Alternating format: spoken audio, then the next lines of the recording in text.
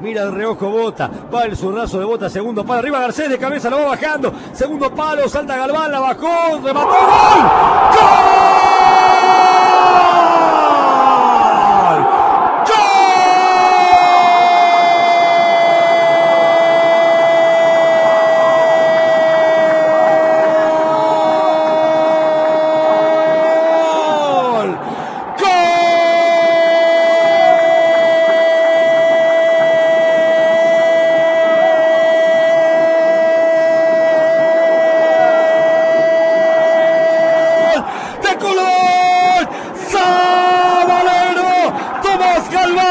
Los 26 minutos del primer tiempo.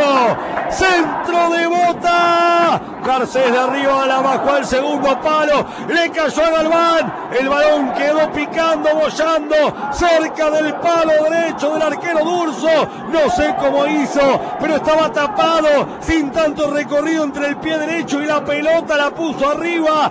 Imposible para el golero tripero.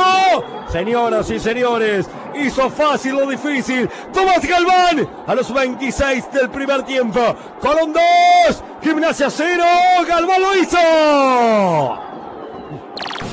Gol, gol, gol, Nico Michael. Bueno, lo decíamos, es ir un poquito más para encontrar rápido, porque no, no tiene resistencia, no presenta resistencia gimnasia. Fíjense que vino un centro cruzado para que venga Garcés, la meta en el segundo palo.